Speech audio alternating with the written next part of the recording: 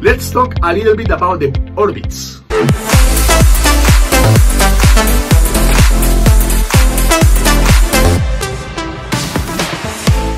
GNSS orbits are orbits that are orbiting the Earth orbits at 20,000 kilometers height, right? From the Earth surface. This is what we call the MEO orbits, medium Earth orbits, okay? Then from the Earth center is something like 26,500 kilometers for the GPS constellation. We'll see the details later on, but for me it's very important after this training you to acquire at least the order of magnitudes of everything. This will be a real, a real a progress already.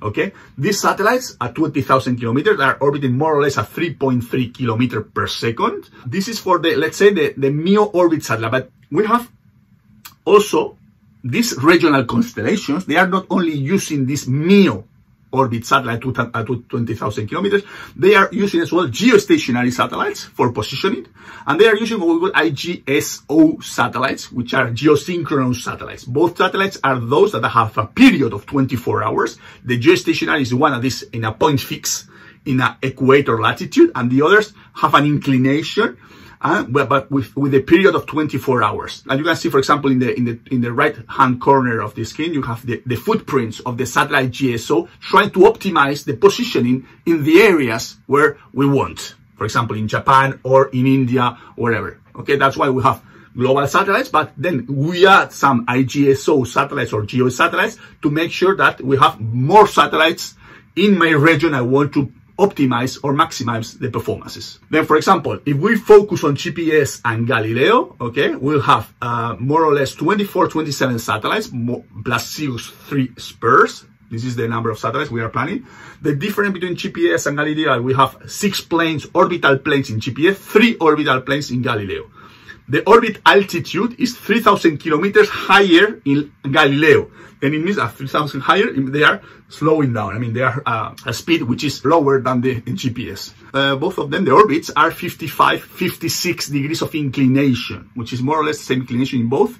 And the period, this is very important you to keep in mind, is the that the GPS have a period of 12 hours. And one satellite takes 12 hours to take to make a turn of their Earth. What does it mean? It means that every one day, one receiver will see the same satellite in the same point. We have in 24 hours, two turns of the satellite. Then from a receiver in Madrid in Munich or wherever that have a satellite, he will see him 24 hours later. It's not exactly 24 hours. It's 24 or one day sidereal day, which is 23 hours and 56 minutes. Then it's like 24 hours less four minutes. Then this is very, uh, very interesting because it means that the global GPS constellation is repeatable every 24 hours. Then you will find exactly the same satellites with the same geometry every day.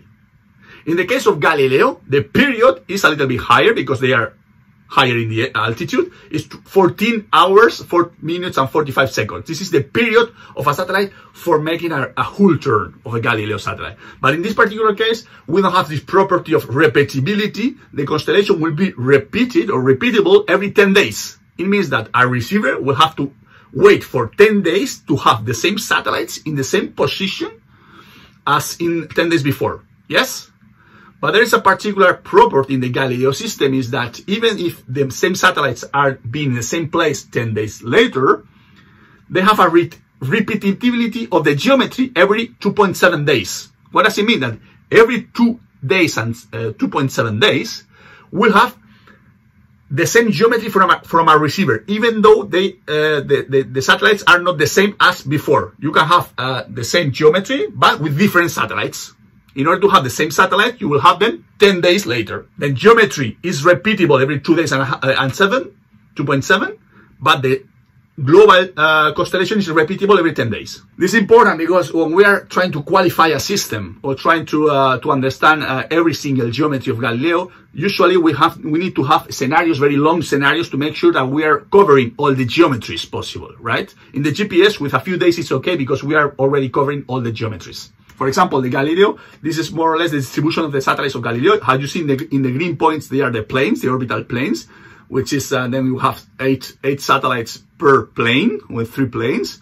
And if you remember, I don't know if you heard about, we had two additional satellites that are the, the orange one, which has the satellites that were uh, put in another orbit and we cannot use them, in fact, today. Then we have two satellite, uh, Galileo satellites that are not in the right orbit because if you remember the launcher, the, the Soyuz launcher, launcher put in another orbit and we cannot use them today in the operational system.